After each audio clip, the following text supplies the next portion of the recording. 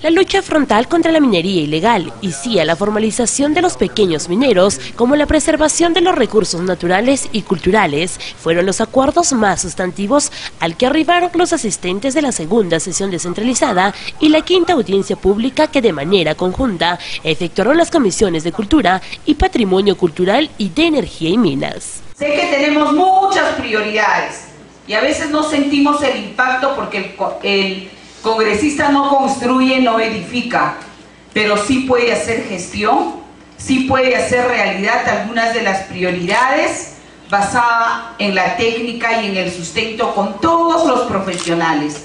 Esa es la forma de trabajar y por eso estamos aquí. Quiero dar inicio a la segunda sesión descentralizada conjunta y la quinta audiencia pública. Afectación de informalidad e ilegalidad de la minería en zonas arqueológicas culturales.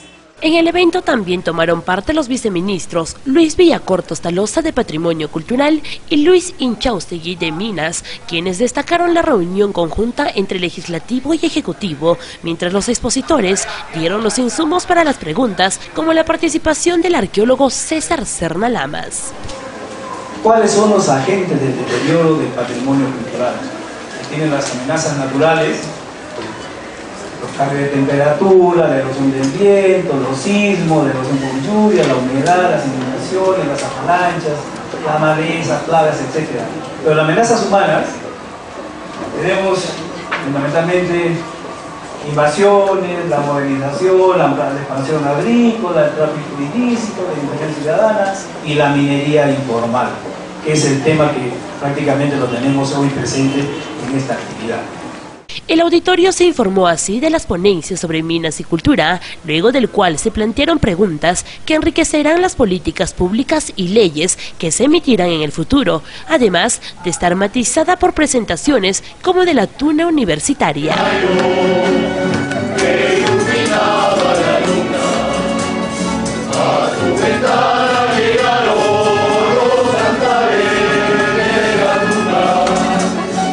Jornada fue clausurada por el presidente de la Comisión de Energía y Minas, Miguel Román Valdivia. Eh, hemos escuchado con mucha atención todos los, aportes eh, que, ustedes han tenido a bien este, hacernos, eh, que va a ayudar a, fortalecer el trabajo que venimos haciendo desde ambas comisiones, la Comisión de Cultura con la de Energía y Minas.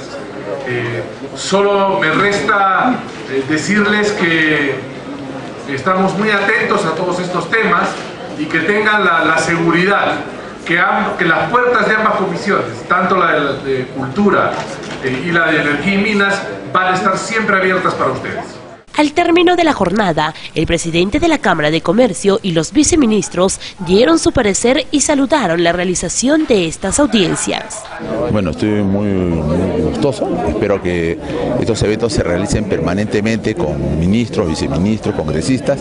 Y esto este, tiene que, tenemos que buscar soluciones, ¿no? porque tenemos mucho esto, exactamente en estos sectores hay, tú sabes, muchos problemas. ¿no? Esperemos que puedan ser resueltos los pocos que se han planteado y les vamos a dejar unos oficios también este, a la congresista y a los viceministros. Hemos escuchado al presidente Martín Vizcarra, al ministro Francisco Íñiguez, hablar sobre que la minería, si es que es una minería que genera un desarrollo, que es una minería que se trabaja correctamente en la forma ambiental y social, sí puede colaborar con el desarrollo. Por supuesto, por supuesto. Nosotros como sector ejecutivo tenemos siempre, por supuesto, una atención y al mismo tiempo una representación en la dirección desconcentrada local, que hace a nuestro juicio una labor no solo muy buena, sino también sacrificada, eh, teniendo en cuenta la vastedad de eh, los recursos arqueológicos locales. Igualmente, el director de Energía y Minas, como el fiscal Temple, también saludaron la medida y reiteraron su compromiso de luchar contra la ilegalidad. Un diagnóstico tanto del plano técnico como que también de la población.